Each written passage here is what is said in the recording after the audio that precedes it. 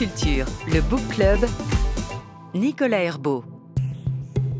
Et nous débutons ensemble une nouvelle semaine du Book Club qui va nous emmener jusqu'au Festival du Livre de Paris. Ce sera vendredi en direct. Vous retrouvez toutes les infos sur le compte Instagram du Club de lecture de France Culture. Ce midi d'abord donc, le Book Club s'interroge.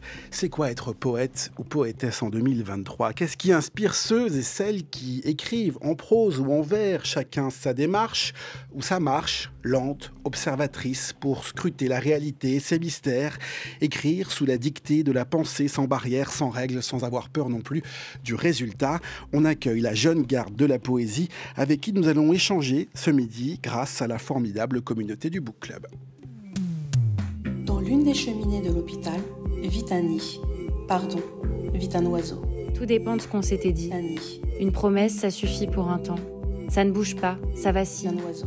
Ce n'est pas la même chose, ça dépend des autres. Un poème, ça c'est dit. France Culture, le Book Club, Nicolas Herbeau. Ça c'est dit.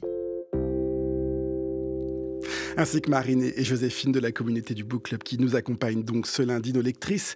Et on accueille nos invités. Bonjour Mylène Tournier. Bonjour. Vous êtes poétesse, dramaturge et docteur en études théâtrales à la Sorbonne Nouvelle, où vous avez soutenu une thèse intitulée Les figures de l'impudeur, dire, écrire, jouer l'intime 1976-2016. Et vous aimez aussi parcourir les villes, comme on le voit dans vos poèmes publiés aux éditions Castor Astral sous le titre Ce, que m'a soufflé la ville. C'est la ville et donc la marche qui vous ont poussé vers la poésie? Notamment, euh, je me dis souvent qu'il n'y a pas grand-chose dans ma tête avant la ville et avant le chaque jour, et que tout viendra d'avoir marché. Et, euh, et, et j'ai l'impression effectivement que l'écriture va vraiment avec ce mouvement-là, de, de chaque jour aller prendre de l'élan au corps et aux yeux et aux mots. De vous nourrir ce qui- de ce qui vous entoure? Oui, On va voir si notre second invité est lui aussi euh, inspiré, nourri par ce qui, ce qui l'inspire, ce qui l'entoure. Arthur Teboul, bonjour. Bonjour. Euh, vous dites croire dur comme fer à ce besoin profond de poésie qu'il y a en chacun de nous. C'est vrai, nous aussi, on, on y croit et c'est aussi pour ça qu'on vous a invités tous les deux pour, pour, pour cet échange. Euh, si on vous connaît d'abord, il faut bien le dire, comme le chanteur et parolier euh, du groupe Feu Chatterton, vous êtes aussi ou avant tout, à vous de nous le dire, poète. Euh, oui, j'ai le sentiment en tout cas que c'est une même source et puis elle se déverse dans différents canaux, que la musique est une, expression de, ce plaisir des mots, qui est plus qu'un plaisir, sous forme de, fascination, enfin non, de confiance dans les mots, de leur pouvoir. Et je suis devenu euh, chanteur, on va dire, par accident, euh, parce que j'ai eu la chance de rencontrer mes camarades et que je leur disais des poèmes, et on en a fait un groupe, puis je me suis mis à chanter, mais à l'origine, euh, c'est- les mots, quoi, le- les mots écrits, le- leurs, leurs associations merveilleuses, accidentelles, étranges, qui, qui, qui m'attiraient, qui m'attirent toujours. Dans ce tout premier livre de poésie qui paraît aux éditions Segers, qui s'appelle Le Déversoir Poème Minute, vous racontez la puissance émancipatrice et critique de la poésie. Ça fait un peu peur, dit comme ça. Qu'est-ce que ça veut dire? Euh, bah, je, vais, je vais tout de suite vous, vous détendre. Ça veut dire jouer, tout simplement. On ne s'autorise pas souvent euh, le jeu, et j'ai l'impression de moins en moins, parce que tout va vite et qu'on doit gagner du temps. Et jouer, c'est accepter euh, l'errance, la, marche euh, hasardeuse, se mettre en marche. Se mettre en marche, c'est quand même d'abord ne pas savoir où on va, sinon on a déjà marché, quoi. Alors, euh, quand on joue avec les mots, quand on s'apesantit sur, euh, sur eux, on essaie de les regarder sous tous les angles, bah, commence ce jeu-là. Et donc, forcément, qui libère de, de, de, de l'habitude, cette idée qu'on sait déjà d'avance qu'un mot veut dire. J'ai- J'aime bien parler de l'eau courante. L'eau courante, on, l'a à tous les étages, mais quand on s'arrête sur l'expression, c'est c'est magnifique. C'est une eau qui court. Voilà. Bah, maintenant, c'est dit. Il y a l'eau qui court et il y a les, les poétesses qui marchent. Vous aussi, vous jouez, euh, Mylène Tournier, quand vous, quand vous marchez, comme ça, vous vous laissez complètement euh, aller.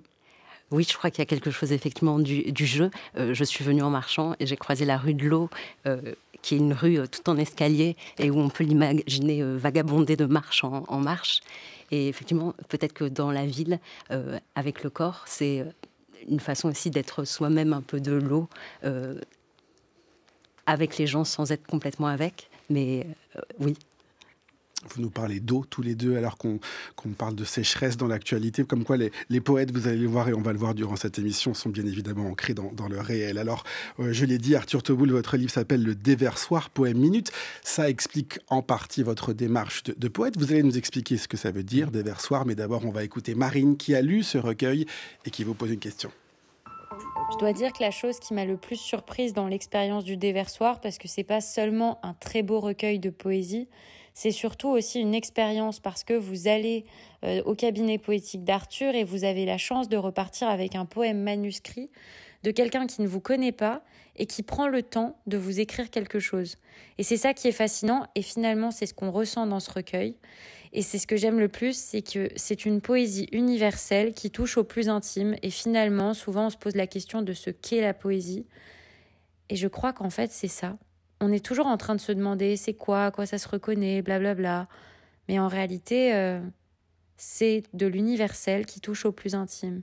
Et là, le génie, parce qu'il faut le dire, c'est que souvent des poètes bah, touchent au plus intime en ayant comme thématique l'amour, le deuil, la liberté. Voilà, ils s'adressent à nous, Chagala. Et là, pour une fois, c'est pas ça qui se passe. Arthur, il s'adresse à personne mais il vous touche au plus profond de vous-même, il vous surprend, ça vous cueille complètement. Et donc ce recueil, vous pouvez l'offrir à n'importe qui, même à des gens qui n'aiment pas la poésie, parce que ça leur parlera. Ça parle de leur quotidien, ça parle de choses qu'ils peuvent ressentir, parce que c'est toutes les palettes de la vie qui sont dans un poème, et dans plein de poèmes. Et c'est ce que j'ai le plus aimé.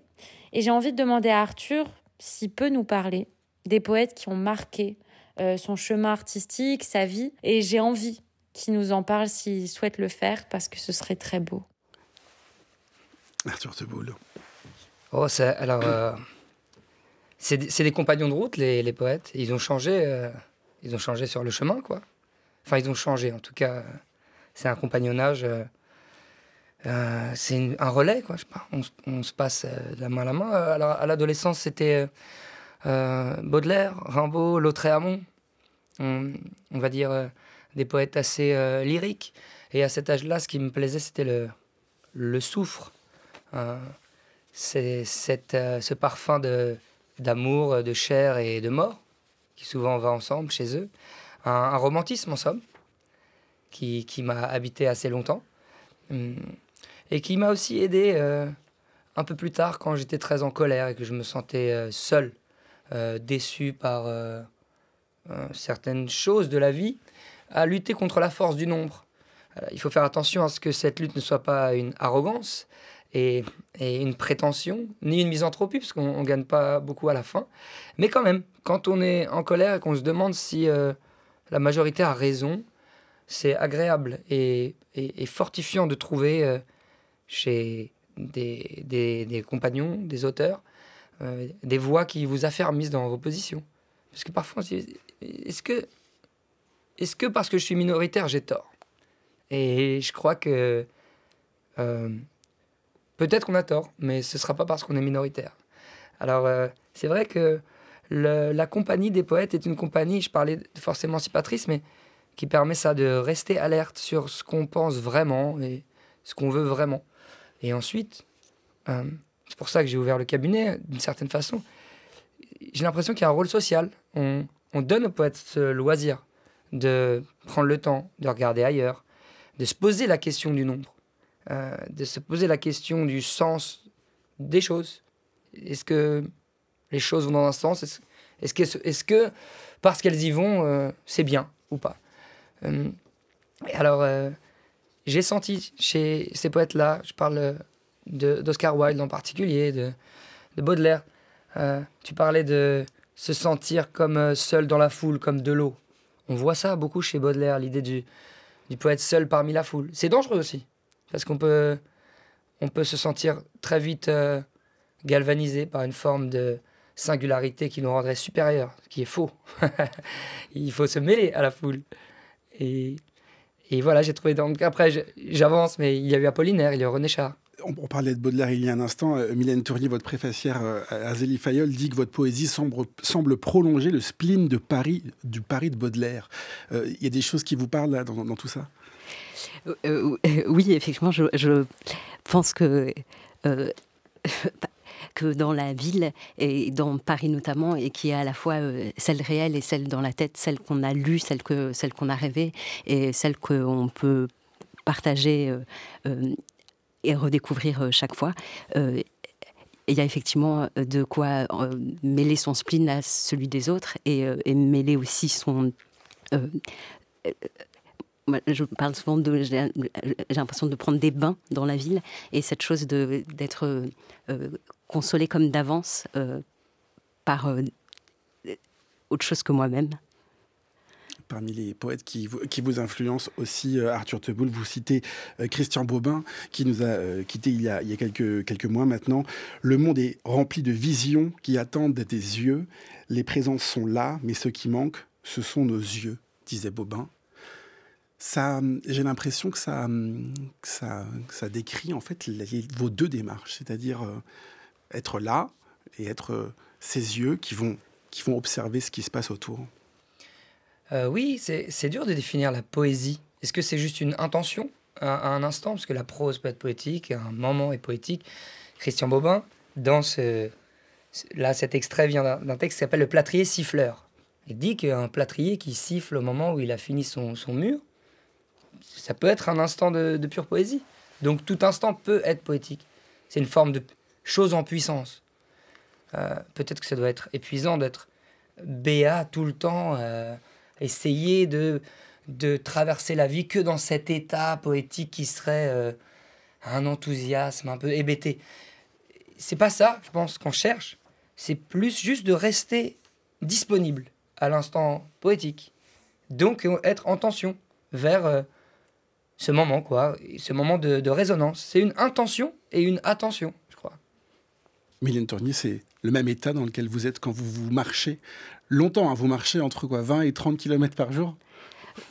Euh, quand j'ai le temps et quand j'ai des journées, effectivement, oui, je, pense que c'est pas toujours facile d'être euh, complètement présent au monde et que la marche, c'est une façon, euh, en tout cas pour moi, de me mettre en, état de, de, présence et, comme dit Arthur, d'attention et d'intention et de, et de une forme de d'antenne délicate euh, à peut-être tout et sans départager d'avance.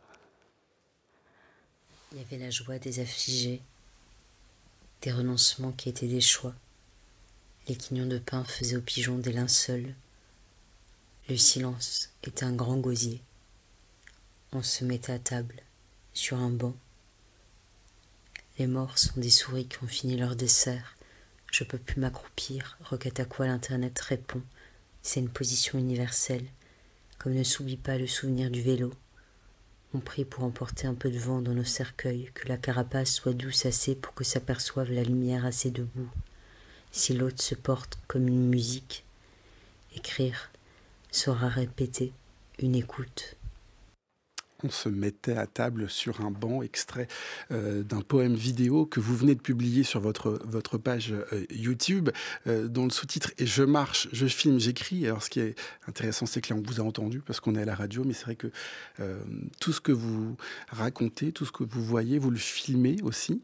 Racontez-nous cette démarche. Vous êtes dans la rue, vous marchez, quelque chose vous interpelle, vous le filmez et ensuite vous rentrez à la maison, vous écrivez. Comment vous faites? Oui, je, marche, je filme ce que je vois. Euh, parfois des choses d'avance belles et parfois juste des choses euh, où je me dis peut-être le soir, euh, ça pourra devenir quelque chose. Et je me donne comme contrainte de, faire un petit poème vidéo en suivant l'ordre de la marche et en me disant que c'est comme un cadavre exquis de relier d'un plan à l'autre par l'écriture et par un lien. Là, le titre, euh, c'était, euh, j'avais pensé, d'ailleurs, Arthur, en, voyant, euh, mais je, marchais, il y avait un banc et dessus un lot de, je crois, de Télérama ou de un rock peut-être, avec dessus Bachung à une table. Et, effectivement, c'est juste d'avoir vu ce banc et cette table dessus et Bachung qui, du coup, a donné ce petit poème pas minutes, mais journées. C'est ce que vous a soufflé euh, la ville euh, hier pour, euh, pour, pour, vous inspirer. Cet ancrage dans l'image aussi, c'est important pour vous? Oui, j'ai, je crois, vraiment besoin de mes yeux pour écrire. Arthur, tu citais Bobin, cette chose des, des visions qui attendent des yeux, je crois. Et, et j'ai l'impression effectivement que, que, sans yeux, il n'y a pas grand-chose pour moi, en tout cas. Arthur, quand vous euh, rencontrez, alors il faut expliquer, euh, le cabinet, Marine, notre lectrice, en a dit un, mot tout à l'heure. J'ai l'impression que vous, et, moi je vous le disais en, citant l'actualité, que vous êtes vraiment ancré dans, la réalité, dans ce qui se passe autour de vous, dans, dans les rencontres, les échanges ce cabinet qui aujourd'hui euh, est un terme presque médical. Hein. Je ne sais pas si vous en avez conscience, mais c'est donc un endroit que vous avez ouvert, le déversoir, ouais. Vous accueillez les gens, vous avez accueilli les gens euh, pour un poème minute. Racontez-nous déjà comment vous en êtes venu à, faire cette euh, expérience? Et là, là j'en viens. Euh, comment j'ai fait? J'ai eu cette idée pendant le, confinement, le premier confinement. les idées, c'est encore une histoire d'émancipation, de, poésie de jeu, mais on a une idée et, et parfois c'est une nécessité. Et si on se pose la question du pourquoi de cette nécessité, ça peut s'effriter et avorter. Je ne sais pas pourquoi. J'ai juste eu cette vision du cabinet où moi je pratique l'écriture euh, automatique depuis des années et je me suis dit tiens si je la donnais en partage quoi. J'avais envie de m'amuser. On s'amusait pas beaucoup pendant le confinement. J'ai vu cet endroit quoi, un endroit dans la ville, pignon sur rue, au coin de la rue, à portée de main, qui, soit un bureau, un cabinet, presque un cabinet de curiosité au départ, où euh, j'écrirais ces poèmes minutes en présence de quelqu'un, pour quelqu'un. Euh, et pendant longtemps, j'ai eu du mal à le faire admettre. C'est pour ça qu'il faut faire les choses pour qu'elles existent, tout simplement. Et il y a dans le manifeste du surréalisme d'André Breton, à qui je dois beaucoup pour la démarche, cette phrase qui dit Tout acte porte en lui-même sa justification. Quand euh, mes amis les plus proches, qui eux-mêmes doutaient de cette chose-là, donc c'est dire ceux qui ne me connaissent pas, c'est un peu excentrique. On vous a dit quoi? Vous êtes fou Non, bah, ils savent déjà, mais. Non, je sais pas. Euh, c'était traité à la légère. Et quand ils ont vu cet endroit, qu'ils sont venus recevoir leurs poèmes, qu'ils sont assis à cette chaise sur un bureau avec des murs, et que les choses existent, on ne se pose plus la question. Pendant longtemps, je me justifiais. Et donc, j'essaie de comparer ça euh, au type qui a inventé le, le triple saut. Parfois, quelqu'un a dit bah, on va faire trois bonds sur du béton pour finir dans un bac à sable, et celui qui ira le plus loin aura gagné. Compenser les gens. Aujourd'hui, des millions de personnes qui regardent ça tous les quatre ans au moins, et certaines personnes qui consacrent ou sacrifient leur vie à ce record-là. Je ne questionne pas le, la légitimité de cette démarche, puisqu'elle existe, elle est là, voilà. Elle est là, elle fait du bien sans doute à des gens. Mais l'idée qu'il y ait au coin de la rue un poète qui vous délivre en un instant un poème, pour vous, c'est votre poème de l'instant, ça n'a pas moins de sens qu'un fleuriste ou qu'un coureur de triple saut. Et maintenant que ça existe, avant c'était une, une, idée, une intuition, une conviction. Mais depuis que je l'ai fait, j'ai passé une semaine entière à recevoir 250 personnes, c'est une certitude et qui, me rend très, très, très confiant et très fort parce que j'ai vu, j'ai vécu ces moments d'échange. Je vous raconte juste le principe parce que je ne l'ai pas dit, mais donc vous entrez, c'est un endroit qui est au coin de la rue, mais qui est feutré pour qu'on puisse basculer tout de suite de ces affaires courantes, cette vie qui nous occupe, à quelque chose d'autre L'idée pour moi, c'est quand même de rivaliser avec les, injonctions du temps, de notre présent, donc euh, la vitesse. Alors, le décor aide à basculer très vite dans autre chose. Vous venez, je vous demande juste votre prénom. Il n'y a pas de conversation, c'est pas un poème sur commande. Ça, sur commande, on a l'habitude avec Amazon, tout ça, d'avoir des choses à notre mesure. Mais en présence, une surprise, vous venez, je vous demande votre prénom, je le note, vous asseyez et je vais écrire un poème minute en votre présence. Ce sera notre poème, à tous les deux. Et le temps de l'écriture, je vous invite juste à regarder ailleurs, parce que ça peut me déstabiliser un, peu. Pour vous occuper, pour que vous ne soyez pas trop déstabilisé, il y a un tableau. Vous n'êtes pas obligé de le regarder, vous pouvez le regarder. Vous pouvez vous lever, vous pouvez vous allonger sur le sol, certains le font, il y a de la moquette. Vous pouvez rester assis. là, j'écris en quelques minutes, je dis le poème que je vous remets. C'est tout, ça dure 15 minutes. C'est juste un poème. Euh, et depuis que je l'ai fait, et, ces échanges-là qui en fait étaient d'une profondeur incroyable, parce que être en présence dans le silence avec quelqu'un quelques minutes, c'est une connaissance de l'autre qui est très grande. Eh bien, j'ai la certitude que ce métier va exister maintenant. Voilà. Mylène Tournier, qu'est-ce que que ça vous inspire, cette, cette démarche, cette idée d'offrir cette générosité aussi? Je pense à, je pense à Marina Abramovic, The Artistis Present, c'est cette chose effectivement d'un yeux à yeux, mais qui là tu dis euh, euh, effectivement euh, justement ne pas, mais être une autre présence à côté et se dire aussi que les choses qui sont autour vont dans l'écriture d'une façon ou d'une autre et que l'âme aussi. Et, et tu parlais des fleurs, des, récemment un projet avec euh, Karine Goron qui travaillait sur à partir du geste, enfin du métier de fleuriste. Et euh, Karine avait eu cette phrase de les gens qui rentrent chez un fleuriste viennent avec un, sont habités par un très grand désir. Et là, tu dis justement, euh, et la fleuriste disait le désir est du côté de la personne qui entre, mais c'est mon, bouquet. Enfin, c'est je fais le bouquet. Peut-être que je connais mieux le désir que la personne, je ne suis pas très claire, mais ce que je veux dire, c'est euh, cette chose que... Euh, je pense aussi à la suite des champs de coton de Coltès, où parfois le désir et la réalisation de désir euh, sont pas complètement des murs mitoyens, mais qu'il peut y avoir du jeu.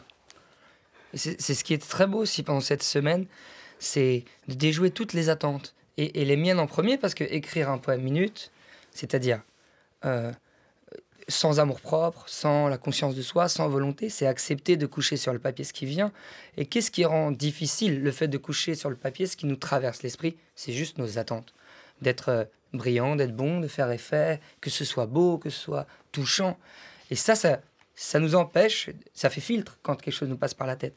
Et donc c'était une semaine qui était très belle pour ça aussi, de savoir qu'on venait pour attendre quelque chose, espérer quelque chose, avoir un poème, mais mais, sans. juste pour l'accueillir. Voilà. On n'attend pas un bouquet en particulier, on n'attend pas telle rose et telle composition vient. Et on espère que le fleuriste fera quelque chose qui est bon. Mais comme tout instant est vrai, il n'y a pas d'instant moins vrai qu'un autre. Le bouquet de l'instant sera, sera bon. Tout dépend de ce qu'on s'était dit. Une promesse, ça suffit pour un temps. Ça ne bouge pas, ça vacille. Ce n'est pas la même chose, ça dépend des autres. Un poème, ça c'est dit. Ce n'est pas un gros mot. Une espérance, toujours là-bas. Dans le trou, un florilège de jeunes pousses, un jeune terrain vague, une aubaine vers midi, un carême sans chichi, sans clocher, sans pression, une suprême envie de dire oui. Hashtag Book Club Culture. Il faut écrire ce qui nous passe par la tête. Euh, en toute liberté, Arthur Teboul. Euh, c'est la, pensée qui dicte ce qu'on pose sur le papier sans avoir peur du résultat. Euh, c'est une forme de, courage, je ne sais pas si on peut le dire ainsi. Et vous, vous dites que vous en avez fait une forme d'hygiène, aussi hygiène de vie. Oui, par accident. Euh, la première fois que j'ai fait ça, c'était donc il y a sept ans à peu près, pour déjouer bah, mon ambition, en fait, moi, dans l'écriture, je mets mon sérieux, je mets, je mets c'est ma nécessité, c'est, c'est mon fantasme, mon idéal. J'en ai fait ma vie avec l'écriture de chansons. On écrivait un album, et voilà, je, je, devais écrire. Je m'étais dit que je devais écrire. Et j'y arrivais pas, parce que, bah parce, que, parce que je voulais tout de suite que ce qui apparaît sur la feuille soit l'œuvre parachevée, la cathédrale, le sublime. ça commence jamais comme ça. Alors je me suis dit, bon, écris ce qui te passe par la tête. Et je l'ai fait et ça m'a fait du bien. Mais tout de suite, j'ai eu une tendance. Je me suis dit, ah bah tiens, comment je vais me servir de cette chose-là qui est sur la feuille? Il y a peut-être une idée à grappiller, il y a peut-être une phrase à prendre. Ça résistait complètement.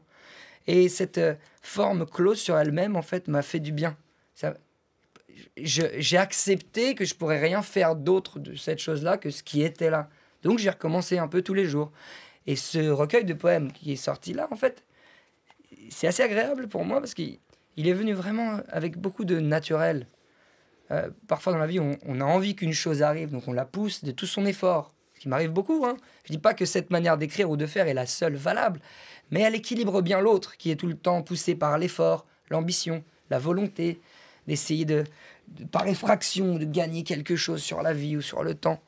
Et là, j'écrivais ces poèmes pour moi, et puis ils ont germé. De même, cette matière est devenue vivante et elle m'a appelé, elle m'a poussé vers le cabinet, vers le livre. Je ne m'attendais pas du tout à publier ce, livre. D'ailleurs, vous dites euh, qu'il faut sortir la, poésie euh, euh, des pages des, livres, et j'ai l'impression que c'est ce que vous faites tous les deux.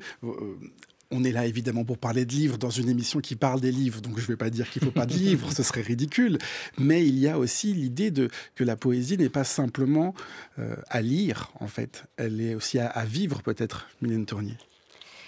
Je pense qu'en tout cas, effectivement, elle, euh, aide en tout cas euh, fortement à, vivre. Et je pense qu'elle aide les personnes qui écrivent et les personnes qui la reçoivent. Et que elle est sans doute beaucoup plus euh, partout que ce qu'on a tendance à la parfois euh, mettre dans un coin. Évidemment, quand on parle de, poésie, on s'interroge sur la forme. C'est la, question qu'on doit se poser quand on en écrit. Je ne sais pas, j'en écris pas, mais vous allez me dire, euh, est-ce qu'on écrit en prose? Est-ce qu'on écrit en vers? Est-ce qu'on met une telle mise en page? Comment on, réfléchit à toutes ces questions Tournier euh, sur la mise en page, je ne sais pas complètement. Je pense par contre au, livre de Arthur. Euh, Arthur, je me suis permis de passer ton livre à mon père qui m'a dit mais c'est notes de ces pages noires, on dirait un piano. Et, euh, je, me suis, et, je me suis dit effectivement qu'il y a quelque chose dans la mise en page qui est un déversoir qui en même temps est rythmé par ces. Bah J'y avais pas pensé. C'est ce qui est beau si toutes les interprétations sont, sont valables. Mais c'est vrai que cette question quand même, je trouve sensuelle en fait, de l'écriture et du, et du livre, elle est importante. Et d'ailleurs, cet accouchement qui s'est fait naturellement, il a quand même besoin de passer par des étapes. Moi, j'écris sur du papier. Et puis quand j'ai commencé, à, Antoine Caro, qui est éditeur chez Seguer, j'ai dit, ah tiens, en fait, j'ai des choses, j'écris des poèmes comme ça. Euh, et je les ai tapés sur Word. Et déjà, il y a cette forme de, de, concrétisation qui a pris une autre, euh, c'était une autre matière. Et ensuite, c'est devenu un livre. Et il y a quelque chose qui s'inscrit comme ça dans le réel, comme quand un tableau, euh, finalement, a son cadre, a son espace. Et c'est physique. Euh, les mots, c'est visuel, c'est graphique. C'est la différence peut-être entre la chanson et le livre. C'est destiné à être vu, pas être entendu, donc à être vu, à être touché. Ouais, c'est une grande importance. Et, peut-être qu'on peut mettre ça en balance avec le fait que justement, ce n'est pas que dans, dans les mots, c'est une manière de vivre. Ça, les mots à la fin, c'est juste l'affleurement de. C'est ce qui est au-delà de la surface du monde intérieur, du monde qu'on vit, quoi. Donc on peut vivre en poète, mais tout le monde peut. On le fait sans le savoir. Tout le monde vit la poésie sans le savoir. Le mot est devenu un gros mot, on l'a entendu tout à l'heure dans un poème, mais ça, faudrait se questionner, quoi. Pourquoi? Pourquoi, quand on dit poésie, tout de suite, c'est relégué euh, soit euh, au banc des, écoles, soit euh, un grand snobisme ou, ou à quelque chose d'extrêmement naïf, fleur bleue. Il y a quelque chose à creuser là-bas, ça dérange quelque part. C'est bon signe? C'est bon signe. On va écouter euh, Joséphine à présent. Joséphine, elle a lu votre livre, Mylène Tournier, Ce que m'a soufflé la ville. Voilà ce qu'elle en retient et elle vous pose aussi une question. Dans Ce que m'a soufflé la ville, Mylène Tournier nous offre une promenade urbaine dans ces petits riens de la vie qui révèlent tout de nous, de notre monde, qui révèlent notre poésie. Ce n'est pas une déambulation mécanique où l'on s'absente, où l'on ne regarde plus, où l'on n'écoute plus ce qu'il y a autour de soi, comme quand on marche dans les couloirs du métro pour aller au bureau. La poésie de Mélène Tournier est une poésie du pas de côté, du regard porté sur les autres. C'est aussi un regard posé sur soi-même, rompre avec la solitude, avec la peur. Marcher pour Mylène, c'est exister. C'est capter ce qu'il y a derrière le tumulte quotidien. Le moindre détail, la moindre parole, le moindre sourire, la moindre détresse. Écrire, c'est aimer. Aimer ces petites anecdotes qui se tissent au fil des pérégrinations et forment un ensemble, ce reste qui est le réel, comme la poétesse le raconte dans le tout premier poème de ce recueil. Marcher, c'est interrompre la mémoire par le présent, quand bien même ce présent nous fait tout revenir en mémoire. C'est accepter la fragilité de la vie, la perte, les manques. Ainsi, chaque pas que pose Mylène Tournier dans ce que m'a soufflé la ville est une page de vie qui se tourne. Chère Mylène, la mort, l'absence, la rupture sont des thèmes récurrents dans votre poésie. Pour vous, écrire, est-ce une façon de nous libérer de notre condition de mortels ou au contraire de mieux l'apprivoiser? Mylène Tournier. D'abord, merci Joséphine. Euh, je retiens cette phrase du sourire derrière le tumulte et de la détresse derrière le tumulte et euh, cette chose qu'effectivement que parfois les, ce que tu disais euh, Arthur, mais que les et je crois que c'est celle, l'exergue qui ouvre, mais le monde, que l'autre monde du monde. Et, effectivement, je, je pense qu'il y a aussi peut-être une autre humanité dans notre humanité et à laquelle parfois c'est pas toujours facile de se frotter ni de se coltiner et que la poésie vaste, poésie comme état de état d'attente et d'écoute. Et euh, c'est un endroit peut-être où effectivement on retrouve euh, euh, notre vulnérabilité et notre étrangeté totale et beauté totale aussi de, qu'on est des humains sur Terre. oui. Il faut accepter d'être vulnérable quand on lit de la poésie, mais aussi quand on, quand on la fait. J'imagine que quand vous vous mettez à écrire automatiquement, il y, a, cette idée de vulnérabilité, de, ce ne sera pas parfait, de je vais peut-être me tromper, je vais peut-être euh, me, rendre triste, me faire du mal en écrivant quelque chose? Euh, c'est vrai que ça, ça fait du bien quand même, parce que quand, quand, on, quand on, on est homme de scène, comme c'est mon cas, on, essaye de montrer la part la plus parfaite, la plus maîtrisée de soi-même, la, la, plus grande. Et, et ben, ça fait du bien de retrouver cette, cette, cette, humilité. Et dans le cabinet, quand on arrive, je suis derrière un bureau, il pourrait y avoir un rapport hiérarchique fort qui crée un ascendant, un peu de gourou, tout ça. Mais en fait, à l'instant où je me mets à écrire, et ben, je, je suis en train de me plonger moi aussi euh, avec la personne qui est là. Et tout de suite, il y a, il y a cet échange, cette humanité en commun qui se crée dans, dans cette euh, vulnérabilité parce qu'on ne sait pas ce qui va arriver sur la feuille. Voilà. Et, et ça, c'est, c'est bien. Il y a un échange tout de même après, à la fin, une fois que vous avez lu, donné, tendu votre, votre poème manuscrit, on vous dit quelque chose? Qu'est-ce qu'on vous dit? Oui, il n'y a, a pas d'interdiction de, de, parole. Hein, déjà, il y a la politesse, c'est important. On s'est dit bonjour, on, peut discuter avant. Euh, je, je, préfère que, le, en tout cas, quand j'invite au silence, c'est plus pour faire comprendre que le poème ne sera pas le résultat d'une commande ou euh, d'une chose que vous voulez me dire de vous-même euh, ou sur vous-même.